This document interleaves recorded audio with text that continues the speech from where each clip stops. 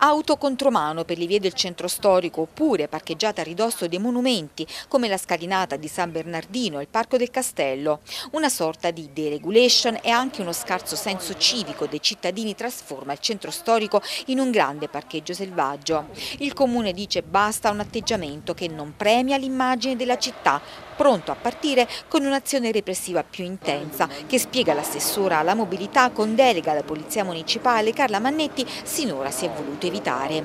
Intanto si procede nell'acquisizione del parcheggio di Colle Maggio che potrebbe offrire ampi spazi per alleggerire finalmente le vie del centro storico. C'è questa abitudine che purtroppo hanno assunto gli aquilani di parcheggiare in maniera selvaggia, doppia fila, tripla fila e questa cosa non va bene perché si dà un'immagine della città che non è quella giusta. Comprendo che c'è sicuramente una carenza di parcheggi, però ci dobbiamo anche rassegnare a parcheggiare lontano dal luogo da raggiungere, parlo di 500-600 metri, non distanze diciamo, lunghe ed eccessive. Questo è un comportamento che noi dobbiamo accettare e assumere per il bene della nostra città. Il Comune come può incidere per in qualche modo disincentivare questo atteggiamento?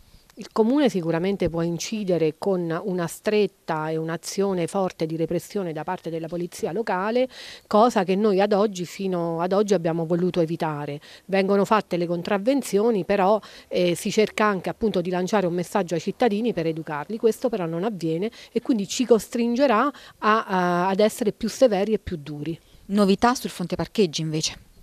Novità sul fronte parcheggi, eh, stiamo aspettando la risposta da parte dei gestori del mega parcheggio, tra poco scadono i 30 giorni e per noi riprendere quella struttura potrebbe essere un primo passo importante.